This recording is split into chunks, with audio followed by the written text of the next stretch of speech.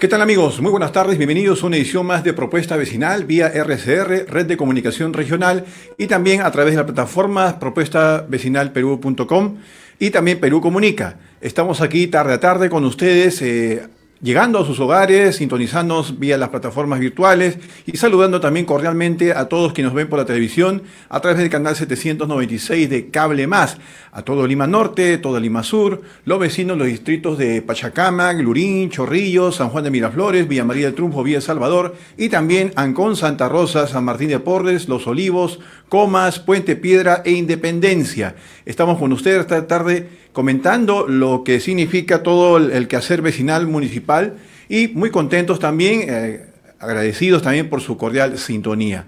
Este, programa, Propuesta Vecinal, como ya lo saben, estamos tarde a tarde llevando a ustedes información importante que significa para que usted, amigo que nos sintoniza, vecinos y vecinas de todo Lima y Callao y de todo el Perú también puedan saber qué es lo que ocurre al interior de los gobiernos locales y con todo lo que significa también el quehacer preelectoral, porque en octubre próximo hay elecciones. Elecciones municipales, elecciones regionales. Es el 2 de octubre la fecha. Bien, sin lugar a dudas, la noticia de hoy es la vacancia del alcalde de Lima, Jorge Muñoz Wells. Sí, el Jurado Nacional de Elecciones ha decidido vacar en el cargo al burgomaestre capitalino como se dice sencillamente porque cobró doble.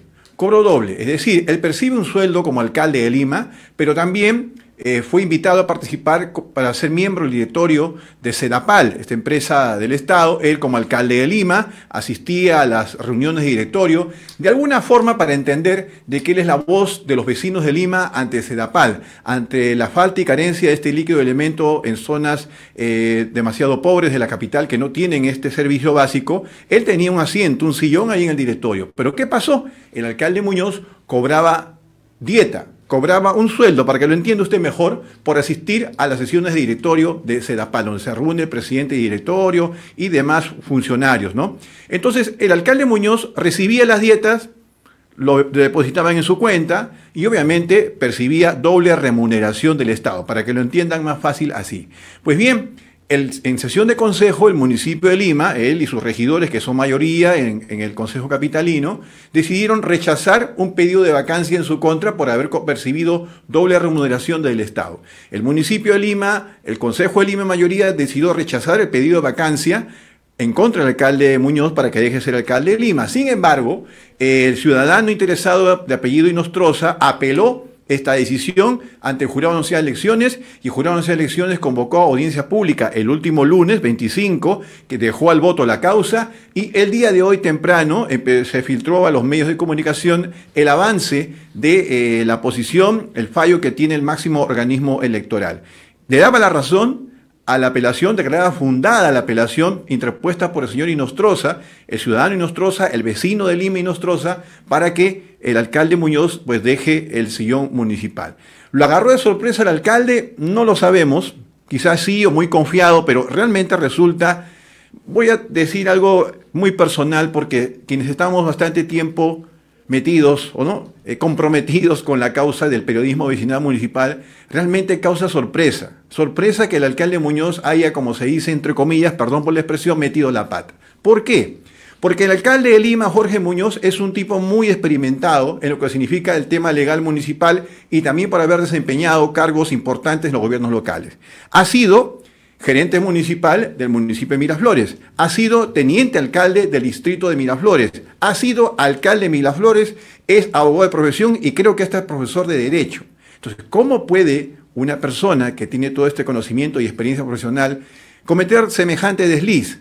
Él recibió una invitación por parte del entonces ministro de Vivienda, Carlos Bruce, para que tenga el municipio de Lima un asiento en el directorio de la capital, en, Sedapal, como representante de, Lima en el, directorio de Sedapal.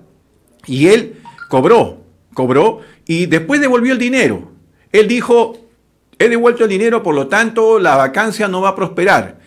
Parece que no fue suficiente para el jurado de elecciones y a final de cuentas resolvió pues que debe dejar el cargo. Esa es la situación para el señor Jorge Muñoz.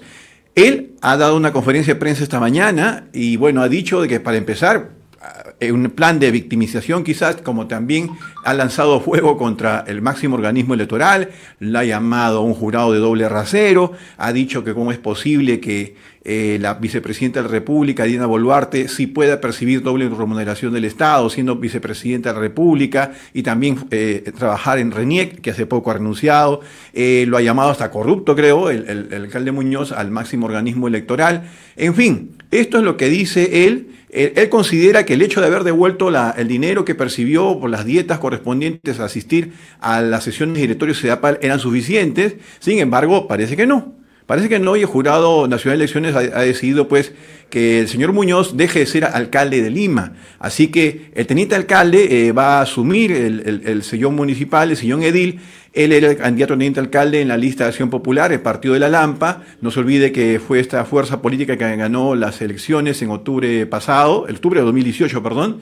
Y pues bien, este, tiene la mayoría y ahora el arquitecto eh, Romero va a asumir, Romero Sotelo va a asumir el, sillón municipal próximamente. Había determinadas investigaciones de algunos portales que decían que al parecer el nuevo alcalde de Lima, teniente alcalde que va a asumir el sillón municipal, eh, no había declarado eh, lo suficiente en su hoja de vida cuando postuló el 2018 y que probablemente incluso hasta había conflictos de intereses entre inmobiliarias que él representaba, empresas constructoras que representaba el nuevo alcalde de Lima, el señor Romero, teniente alcalde que va a asumir el sillón edil capitalino. Pero en fin, vamos a ver qué es lo que pasa eh, más adelante. Vamos a tratar de comunicarnos eh, con eh, algún regidor del municipio de Lima para que nos cuente qué es lo que pasaba al interior antes de este fallo del Jurado de Elecciones. Pues bien, eso será en breve tras una pausa. Regresamos aquí en Propuesta Vecinal.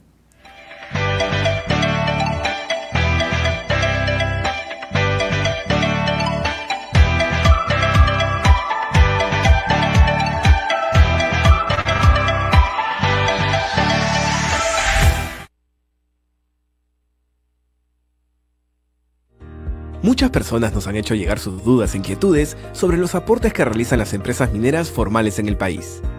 Hoy conoceremos a detalle este tema. Estas son las ganancias que tiene una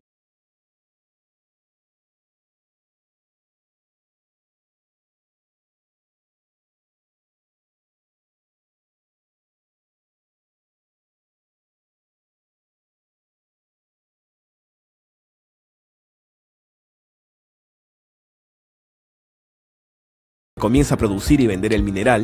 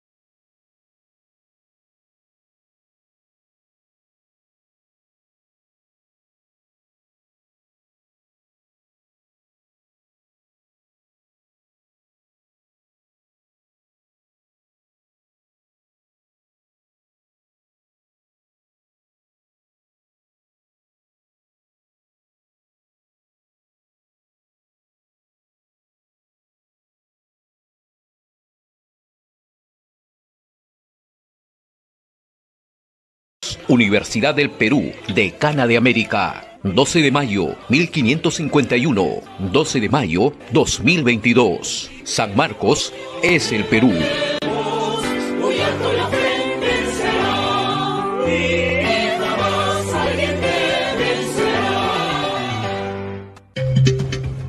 Bloqueo es violencia. El bloqueo de vías no es una protesta pacífica. Atenta contra los derechos humanos fundamentales, como el libre tránsito. Además, afecta la economía de miles de familias y perjudica el abastecimiento de bienes indispensables como alimentos y medicinas. La protesta es un derecho. El bloqueo de vías no. El bloqueo de vías es un delito que no debe normalizarse.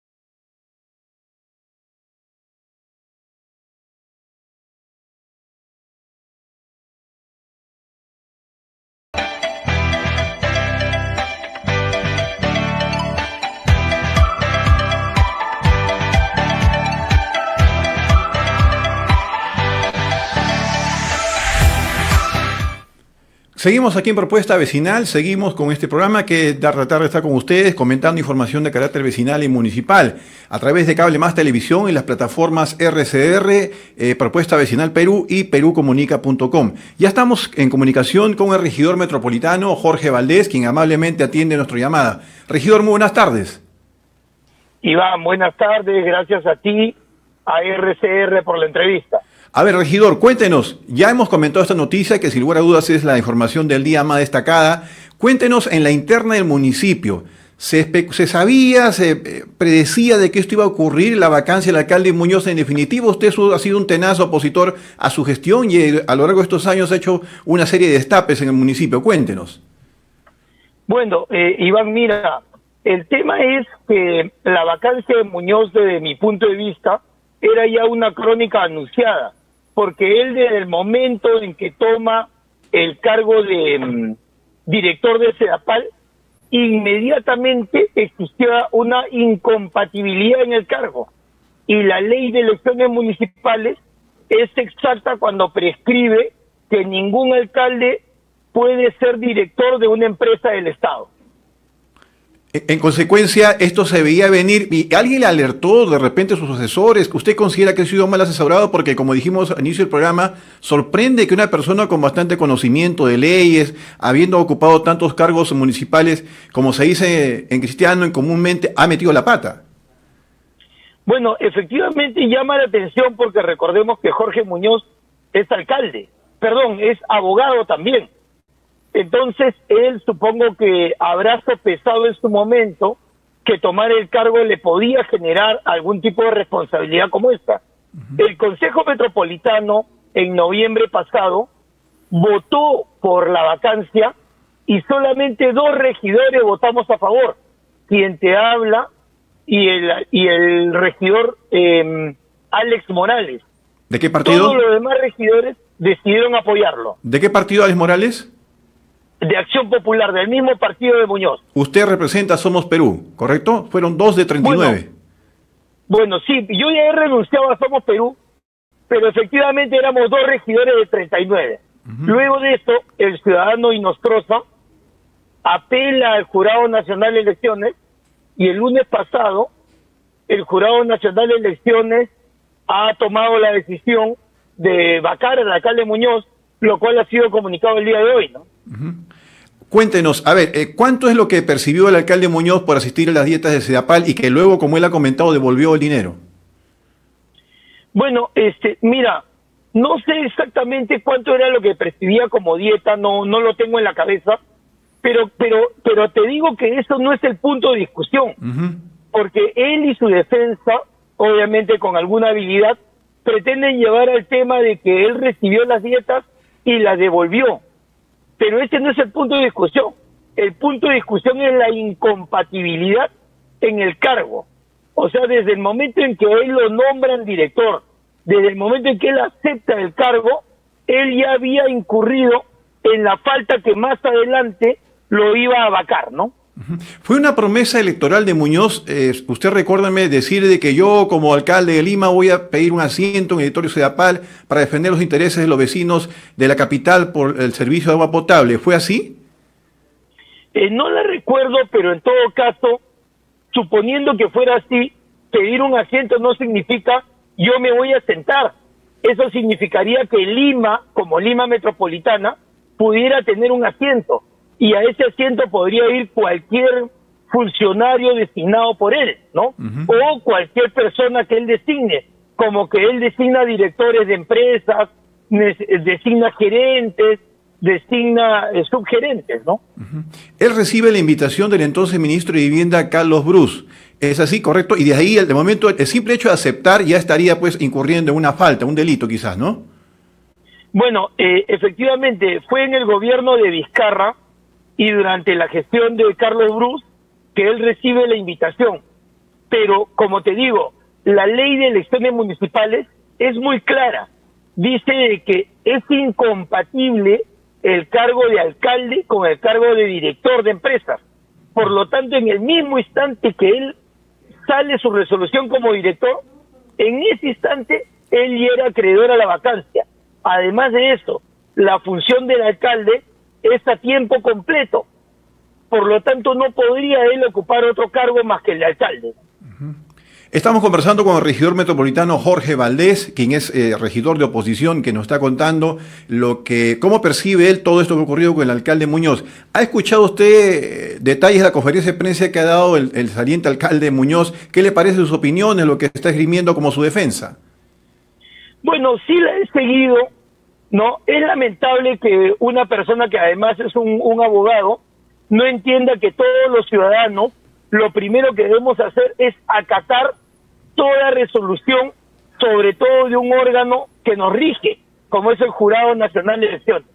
Lo primero que él debería hacer es decir que se somete a lo que dice el Jurado Nacional de Elecciones y no tacharlo, por ejemplo, desde mi punto de vista, de corruptos, porque si no, todo el mundo que recibe una resolución judicial se defendería diciendo que el juez en cuestión es corrupto, por un lado.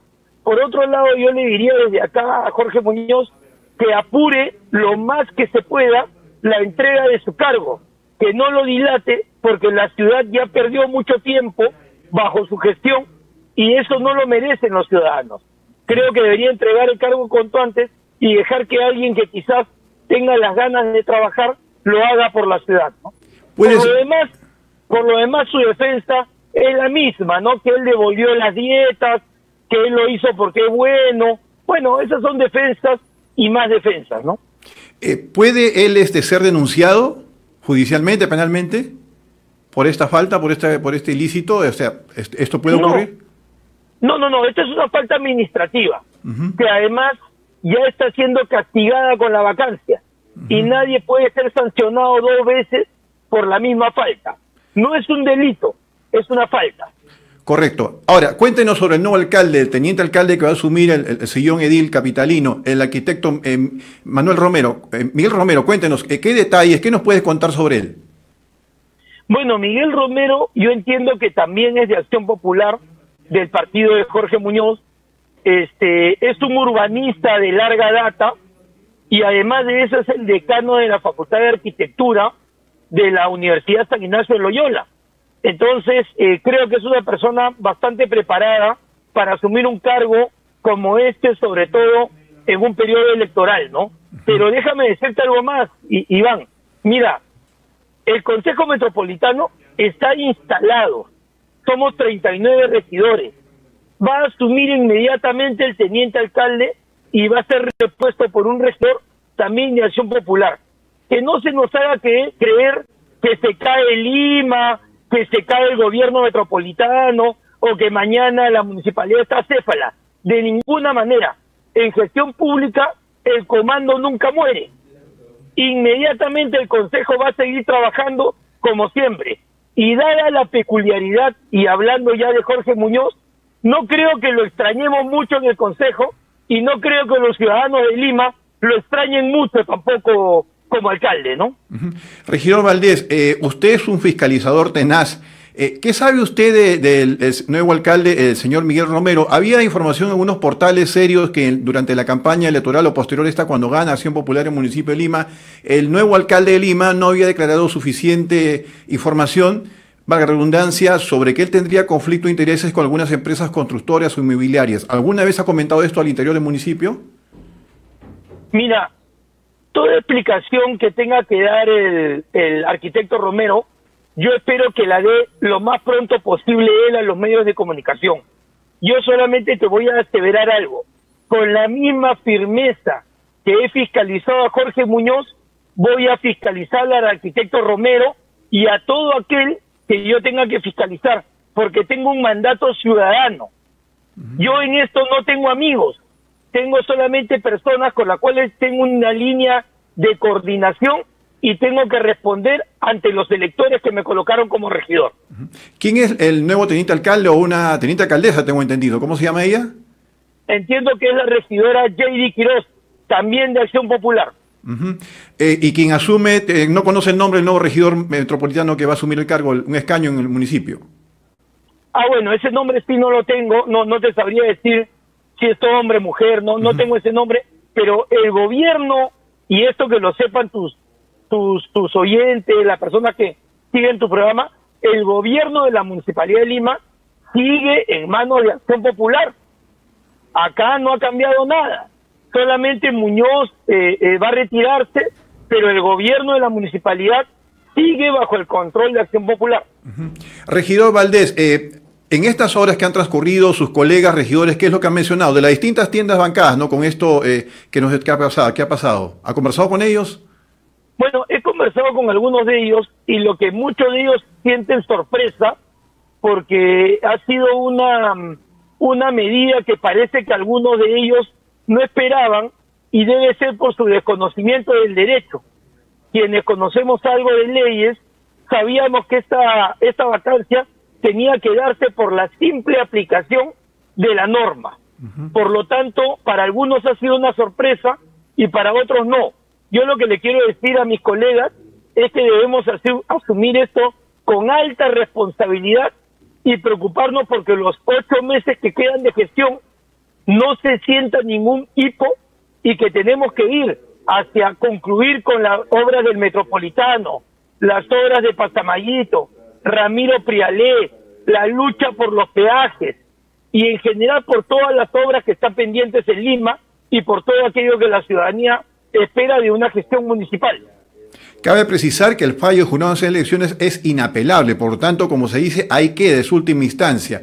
Eh, regidor Valdés, cuéntanos, a ver, eh, usted es un hombre experimentado en política, ¿Cómo toman en el municipio de Lima la actitud, por ejemplo, del alcalde de La Molina, Álvaro Paz de la Barra, que también ha sido elegido por Acción Popular, pero creo que invitado, de haber eh, cometido ayer, por ejemplo, esta actitud de, retirar estos, estos muros de contención en la vía auxiliar que había construido su, gestión municipal para ingresar a separador industrial y evitamiento, para que no se pague el peaje y puedan transitar por ahí los vehículos? ¿Qué le parece esto?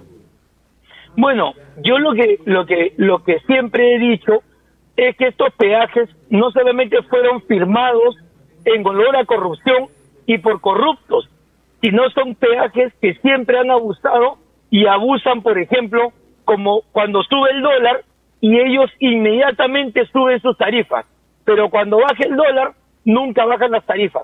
El alcalde Paz de la Barra lo que ha hecho es generar una vía alterna al peaje porque todo peaje supone una vía alterna.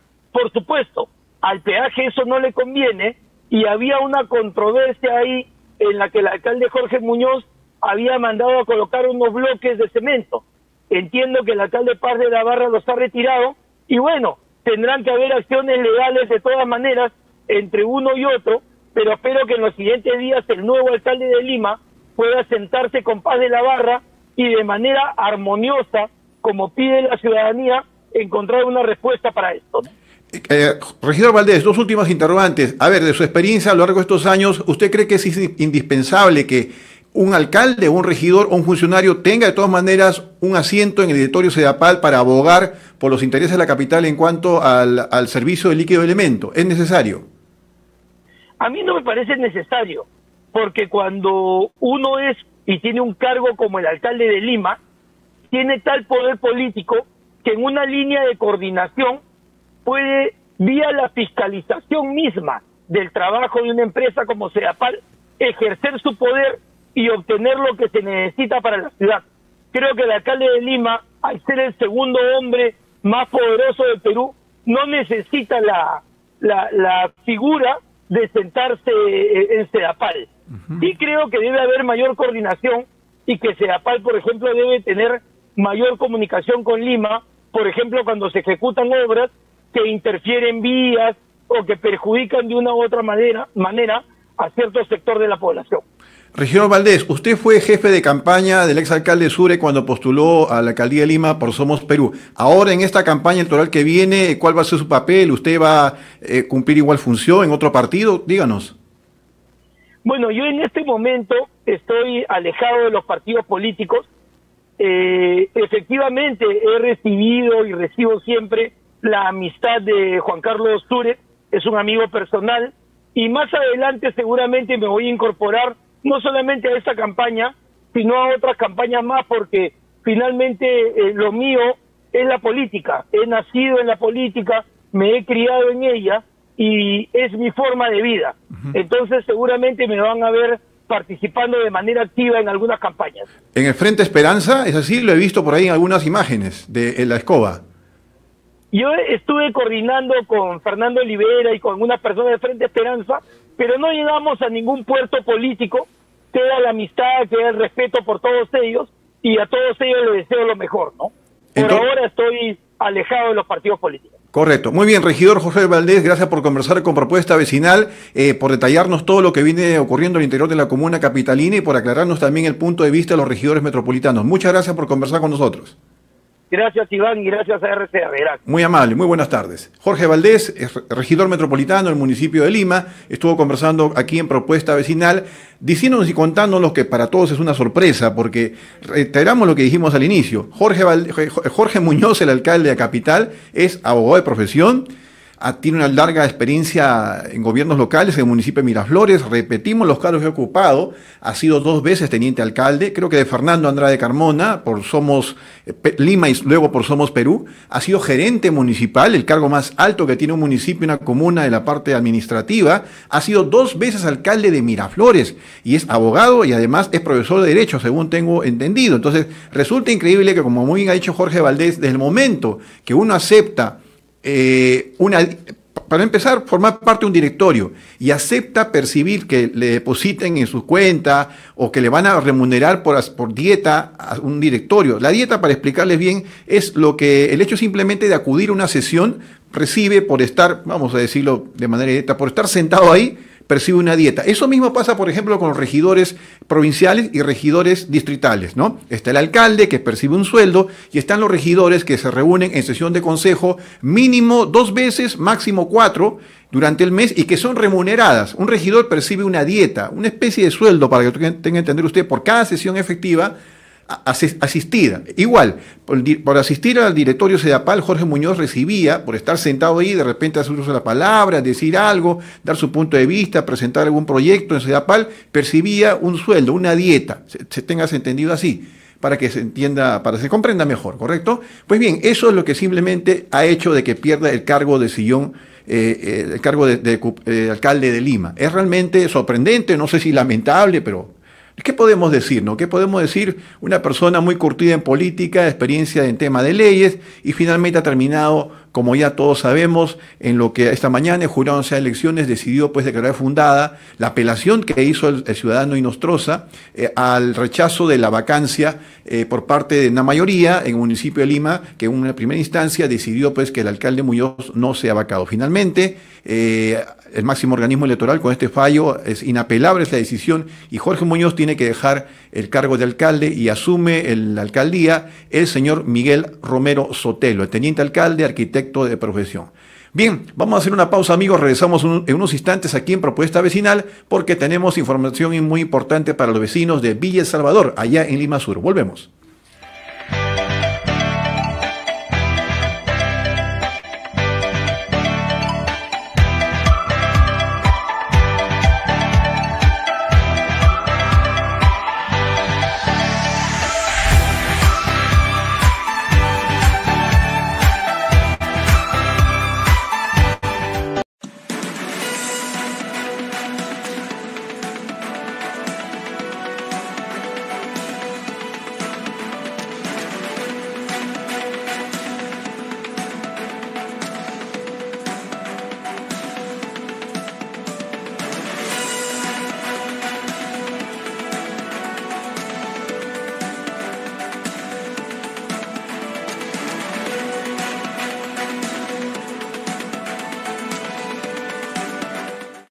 Hecho llegar sus dudas e inquietudes sobre los aportes que realizan las empresas mineras formales en el país. Hoy conoceremos a detalle este tema. Estas son las ganancias que tiene una minera en un año. Digamos que son 100. De estos 100, la minera, como cualquier empresa o persona natural en el Perú, tiene que pagar impuesto a la renta. Pero, ¿qué es el impuesto a la renta? Es el impuesto que se paga cuando hay utilidades. Por ejemplo, en una mina, cuando se está explorando o construyendo, lo que hay es inversión. Cuando se comienza a producir y vender el mineral, primero se recupera lo invertido y después de un tiempo se obtienen utilidades. En ese momento se paga impuesto a la renta. ¿Y hay impuestos adicionales para la minería? Sí, a diferencia de otras empresas, las mineras formales tienen más obligaciones tributarias. Por ejemplo, están las regalías, una compensación que se paga desde que se inician las operaciones. También está el impuesto especial a la minería o el gravamen a la minería. Además, por ley en el Perú, las mineras deben destinar el 8% de sus ganancias para repartirlas como utilidades entre sus colaboradores. A esto se agrega el impuesto por los dividendos que se paga a los inversionistas. Entonces, de estos 100 que gana una empresa minera, termina aportando 47. Y no nos olvidemos del aporte por regulación, que permite que instituciones como OEFA u OSINERMIN supervisen las actividades mineras. Si lo comparamos con países con un potencial minero similar al nuestro, como Chile, Canadá o Australia, en el Perú las empresas mineras pagan más impuestos. ¿Y tú? ¿Qué otras preguntas tienes sobre la minería formal en el Perú? Minería de todos, juntos trabajando por un país mejor.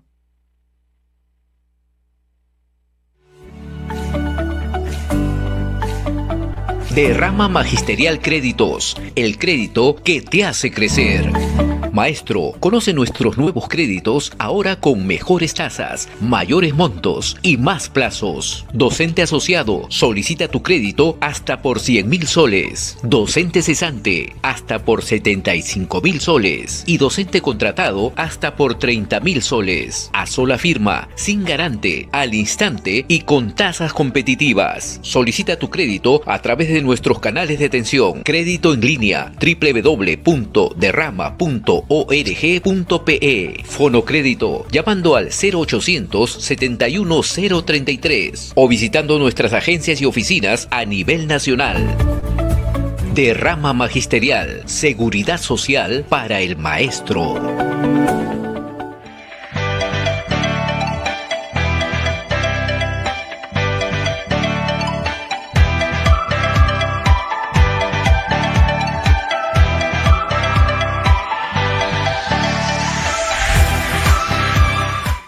Continuamos con el programa, amigos, y bien, como ustedes saben, eh, algunas tardes aquí estamos dando a conocer cuál es la labor de los regidores al interior de los municipios. Normalmente el protagonismo se llevan los alcaldes o alcaldesas, pero también están los regidores, sean del partido de, que ganó las elecciones en el municipio distrital o provincial, como también regidores de oposición.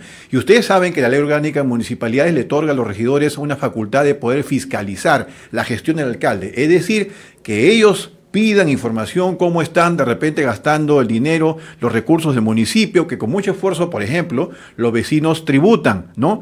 Cómo está desarrollándose algún proyecto, si de repente hay una anomalía, algo que denunciar, para eso están los regidores y, y regidoras también. Y obviamente es importante saber y conocer cuál es la labor que realizan. Esta tarde vamos a ocuparnos del distrito de Villa El Salvador, una importante jurisdicción de Lima Sur y que tenemos mucho seguramente que contar y, conocer además de lo que ya se sabe. Nos acompaña esta tarde la regidora Rocío Paz, quien gentilmente ha venido a nuestro programa. Muy buenas tardes, bienvenida a Propuesta Vecinal. Buenas tardes, muchas gracias por la invitación. Un gusto, un gusto estar aquí y un saludo a todos los este, seguidores ¿no? de su programa. Correcto. A ver, cuéntenos, ¿usted llegó al municipio por qué partido?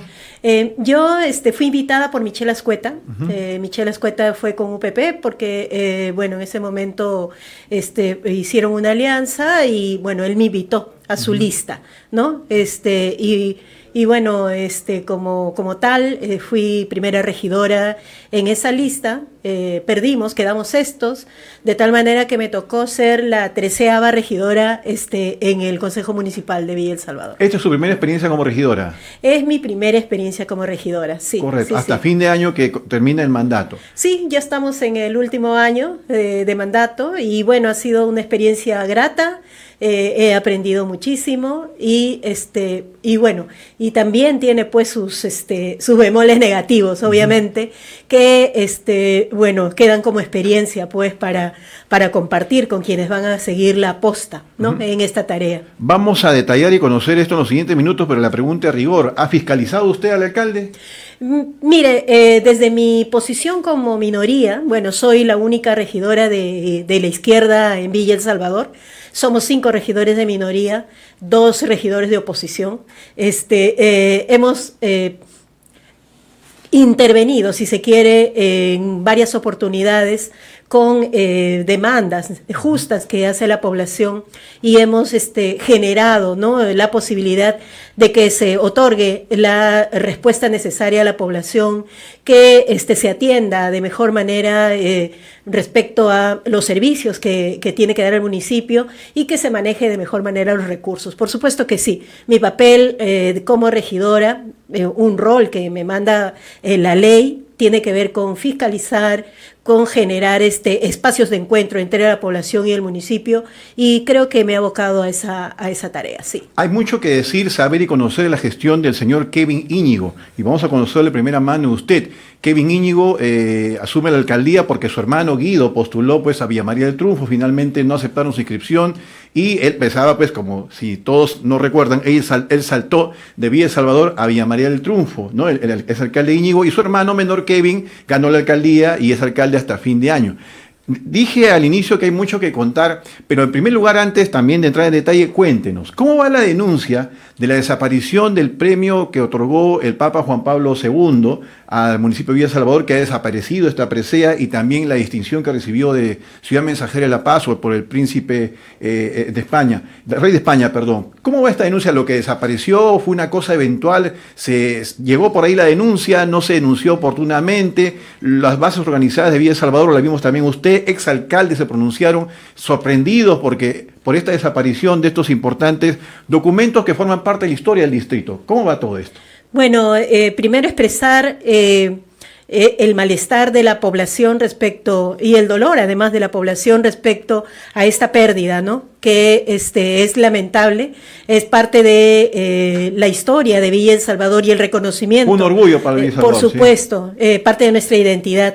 Y el reconocimiento, además de ser justamente una, una comunidad solidaria, participativa, generadora ¿no? de, de espacios de la paz. ¿no? Em, nosotros eh, hicimos como dos cosas. Una primera, que fue apelar al Consejo Municipal para que se forme una comisión investigadora y que este, se sepa qué es lo que ha pasado porque eh, hubo pues un robo en la municipalidad en el 2019 robo eh, que fue bastante extraño porque, bueno, la municipalidad está al costado de la policía y encima de un banco, ¿no? Del Banco de Crédito y al frente del Banco de la Nación. O sea, la seguridad en ese lugar es muy, muy este, férrea, por decirlo de alguna manera. ¿Dónde estaban estas instituciones, estos premios? ¿En qué lugar? Estaba en eh, la oficina de tesorería de la, de la municipalidad. En una caja fuerte. En una caja fuerte. Y desapareció. Y, pero mire usted, eh, yo hago la pregunta ah, este, por escrito para que me digan qué es lo que se robaron, porque primero decían que se habían robado plata, cheques, bueno, decían que se habían robado de todo. Nunca dijeron que se habían robado estas piezas tan importantes. Yo envío una carta y la carta me es respondida dos meses después diciendo que lo único que se habían robado es dinero. Este, y yo hago la pregunta, ¿qué se robaron? Dijeron, se han robado tal cantidad de dinero. Y hago una siguiente pregunta, ¿ha habido alguna pieza, este, eh, material que se hayan robado? Lo único que se han robado es dinero, en efectivo. ¿no? Entonces, frente a esto, eh, no había. Y dos años después, eh, hay un documento donde Control Patrimonial pide dar de baja estas dos piezas por el robo que ha este, tenido en eh, la fecha de marzo del de 2019. Cuando usted pide la información. Cuando pedí la información y nunca dijeron que esto había sido robado. Entonces, frente a esta situación, lo que nosotros como regidores hacemos es pedir que se forme una comisión investigadora para ver cómo es que dos años después aparece como parte del robo y además teniendo esta respuesta. Este, no aceptan la comisión investigadora. ¿No? Nosotros solicitamos que los este, funcionarios responsables nos informen qué es lo que ha sucedido y cómo así una pieza tan importante puede ser robada de esa manera. Además era eh, la medalla del Papa, que es una medalla de oro, ¿no? Pero además tiene un valor simbólico porque el propio Papa lo entregó en Villa El Salvador y además la escultura de, de este el previo príncipe de Asturias. Eh, al no tener respuesta, porque hicieron caso omiso a nuestro pedido, nosotros hicimos la denuncia. Personalmente hice una denuncia por omisión de funciones, porque toca al alcalde proteger el patrimonio este, de Villa El Salvador, y este es un patrimonio histórico. Eh, y hay otras denuncias por robo también. Estas han sido archivadas menos esta que le digo que tiene que ver con este, la omisión de funciones, aún está en curso, pero todas las denuncias este, han sido archivadas y la municipalidad nunca respondió qué pasó realmente, porque eh, en esa caja fuerte, para empezar, no entra una escultura del tamaño que, que, teníamos. Entonces es una cosa de locos. Y en el informe que ellos hacen a la propia fiscalía, indican que se han robado la medalla, se han robado un segundo premio del Papa, una lista de cosas que se han robado que no existen, ¿no? Entonces, eh, genera pues desconfianza, genera este un, indignación, ¿eh? un nivel de este claro profundo de indignación, pero además eh, entendemos el desapego que tienen con la identidad de Villa El Salvador, con la comunidad, con, eh, bueno, nuestros símbolos históricos. ¿Y qué dicen en el municipio, al interior, los regidores, la gente, los dirigentes vecinales? A ver, directo, ¿dónde está? ¿Quién los puede tener? ¿Quién se los robó? Eh, tenemos, eh, hemos hecho seguimiento hasta el alcalde Mozo que entregó a la siguiente... El anterior a, Guido Íñigo. A Guido Íñigo. Cuando él entra, ya no hay una transferencia de estas, este, estos elementos al siguiente gobierno, bueno, que es el mismo, ¿no? Porque él hace dos veces el gobierno. Eso estamos hablando de este, transición del 2010 a 2000, 2011, 2000, 2012, claro. 2010 a 2011. Sí, sí, claro, porque ahí entra Mozo. Ahí entra Mozo y él queda como... O sea, ahí puede haber ocurrido la desaparición. Claro, porque Mozo está ni un año, ¿no? Él se ah, queda como alcalde. Tiene razón, es, es, Y él es, vacado. Este, es vacado como primer regidor, queda como alcalde y lo eligen este eh, alcalde de la siguiente oportunidad de elección. Entonces, ¿dónde pueden estar? O sea, ¿dónde eh, puede estar En ese, en e, eh, mira, que los Iñigo tienen que ver, sí tienen que ver, porque ha sido la transferencia de Mozo a Guido Iñigo y luego a Kevin Iñigo. No existe documento de transferencia entre Guido y Kevin,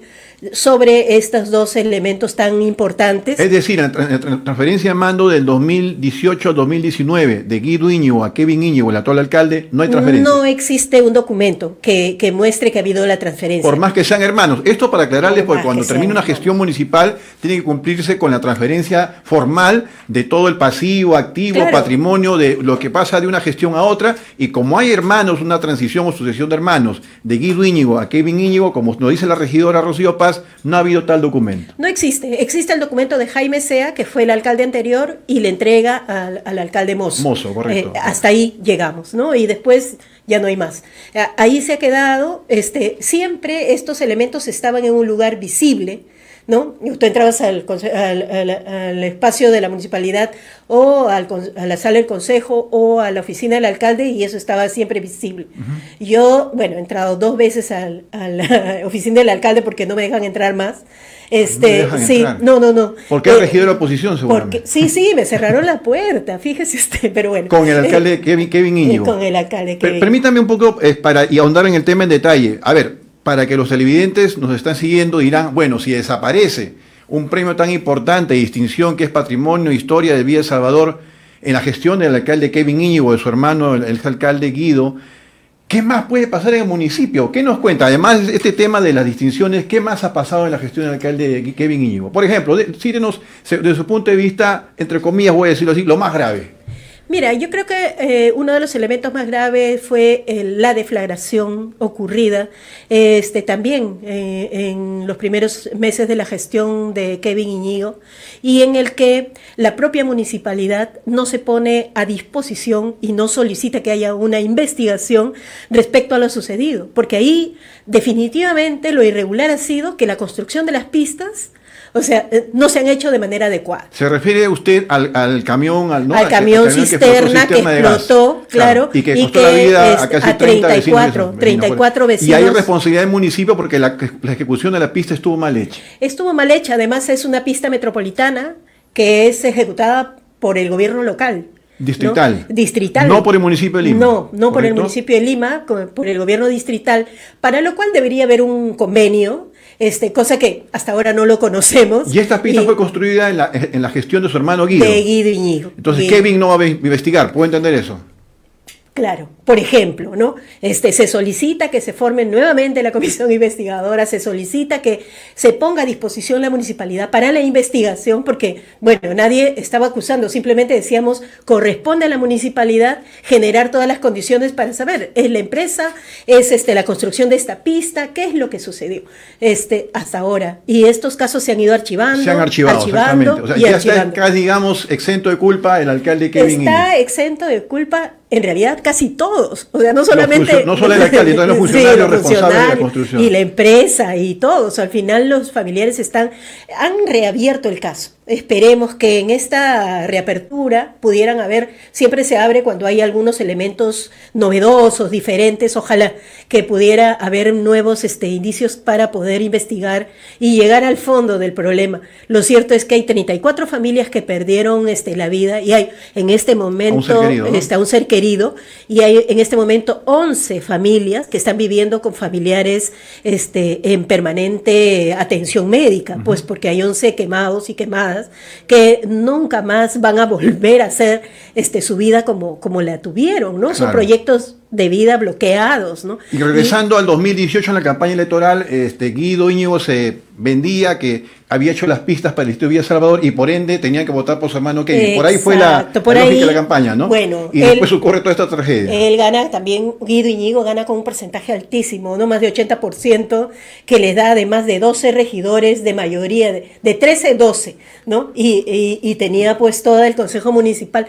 El siguiente gobierno lo ganan también con las pistas, pero este tema de las pistas, las veredas, que es el tema que me ha preguntado, cuáles son los problemas gruesos en Villa El Salvador, tiene que ver justamente con la necesidad de pueblos como el nuestro, que este, tiene... Eh, Hace falta esta, infraestructura urbana. Tiene ese vacío, pues no, hemos llegado a un arenal y tenemos la necesidad de todo, ¿no? Pero esto este, eh, se hace de manera eh, irresponsable ¿no? Sabiendo que la gente quiere pistas y veredas, este, lo hace de manera irresponsable. Y la gente acepta porque quiere pistas y veredas. porque ve ahí eh, el elemento físico que es la el elemento físico que cambia el panorama de la comunidad. Y aplaude eso, está contento y vota. Pero este, no tiene los criterios técnicos adecuados, no este, sabemos cuánto presupuesto hay porque no lo publican. ¿Cuánto gastó? si puede haberse pagado de más, por ejemplo. No hay, claro. No se este, informa. Y, y sobre todo cómo se hacen los procesos de licitación de estas obras, ¿no? Este, cuáles son las empresas que ganan, porque al final termina siendo un tipo monopolio, porque ¿quién antes de Villa El Salvador tenía pistas de concreto? Las pistas siempre han sido de asfalto y eso este, todos los distritos y todos los municipios han atendido esta necesidad con pistas de asfalto. Inclusive Las pistas de concreto este, son una suerte de novedad, pero también una suerte de empresa novedosa, ¿no? de, de, quienes este, elaboran este premezclado, de quienes este, eh, venden el cemento, de quienes, de todo esto, de todos estos insumos. Entonces, ciertamente ahí hay algo que eh, siempre va a beneficiar solo a algunos, y no a todos, ¿no? Sí, hecho observaciones de que estas pistas, conforme pasan los años, este, detallan, aparecen algunas grietas. Eso puede ocurrir más adelante con tanta pista que se ha construido porque no se ha respetado los, los niveles y exigencias técnicas, por ejemplo. Está ocurriendo. Y mira, en Villa Salvador sucede algo que tú un día sales y hay una cuadra completa destruida. Y al día siguiente, pista nueva.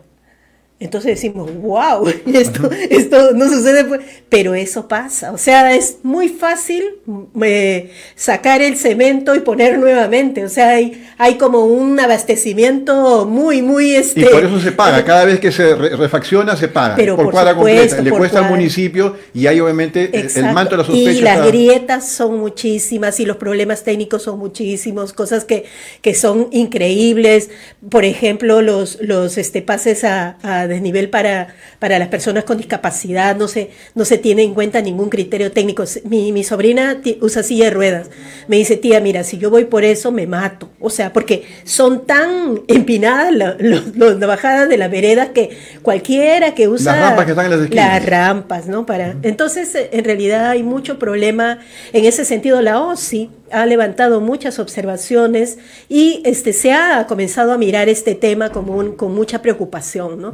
Además de sembrar cemento donde ya no era necesario, porque hay alamedas en Villa Salvador. Una, una cosa creo que es importante en Villa Salvador es la planificación este, física, ¿no? Y uh, las pistas son muy grandes, pero también tiene eh, alamedas y lugares para parques y jardines que están proyectados pues para el futuro. O sea, como te vuelvo a decir, llegamos al Arenal, pero sí decíamos, aquí va a ser el parque, aquí va a ser la alameda.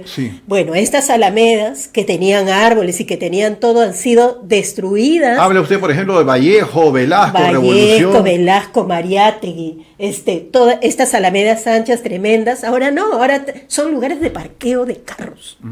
O sea, se ha llenado de cemento para parquear, ¿no? Regidora Paz, ¿qué no se sabe de la gestión de Kevin Íñigo que aún no sale en los medios de comunicación? ¿Qué nos puede decir como última interrogante? Eh, Algo que no salió en los medios de la gestión de Kevin Íñigo que se va ahora en diciembre. Mira, yo creo que hay un elemento que eh, la gestión de los Iñigo ha, ha, hecho en Villa El Salvador y es destruir la organización y a sus líderes vecinales. Una, una eh, Villa Salvador siempre ha sido organizado, ¿no? Siempre ha sido Desde organizado. La de todas sus entidades. Una estrategia de, de, generar organizaciones paralelas desde el municipio. Una estrategia de eh, condicionar a los dirigentes este, para poder hacer obras. ¿no? Una estrategia de eh, poder eh, convencerlos de que hagamos la finta de que hacemos el presupuesto participativo, hagamos la finta de que hacemos la asamblea este, de audiencia pública de rendición de cuentas, ustedes me firman y nosotros luego les, este, les favorecemos con cosas. Esa, ese, ese trueque de, de favor político por este, eh, bueno, por, por seguirte, por, por darte tu voto o por darte mi aprobación, es algo que se ha afianzado en este gobierno, que, que no viene de ellos, ¿no? Esa es este, una práctica anterior, es una práctica fujimorista, ¿no? El hecho de, de hacer uso de este, las organizaciones, pero también esta, esta suerte de, de diálogo perverso que hay. Este, yo creo que eso es lo más grave que le ha pasado a Villa El Salvador. Sale Kevin, la hermana menor Cindy se va a María del Triunfo y Guido vuelve, ¿sí o no? A no. Villa El Salvador. No. eh, pretenden eso. Correcto. Pretenden eso. Tienen, tienen muchísimo. Vamos a ver qué dicen los vecinos de Villa Salvador en octubre próximo. Sí, vamos a ver qué dicen. Creo que tienen muchísimo dinero y muchísimo poder desde la municipalidad, pero creo que el vecino de Villa Salvador tiene dignidad. Correcto. Le agradezco su visita aquí en el programa. Nos ganó el tiempo, regidora, por venir. Le agradezco por venir de Salvador y mucho que contar y saber. Y esto no va a ser una primera visita. Le agradecemos aquí su presencia. Muy amable. Muchas gracias por la invitación. Correcto. Gracias a usted. Con ustedes, amigos, nos despedimos hasta el día de mañana en una edición más de Propuesta Vecinal. La regidora Rocío Paz ha estado con nosotros contándonos lo que pasa al interior del municipio de Villa Salvador. Gracias por su sintonía. Hasta el día de mañana a partir de las 4. Permiso.